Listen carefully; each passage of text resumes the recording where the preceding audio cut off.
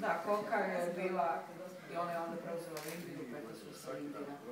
I sad su došli još Vidimo i trgovanje Oni su preuzeli dio koji je imala veterinarska stanica Čakovic. pa su- Ovo je tamo dvorcu, tako je, ali ne ide na ovaj dio.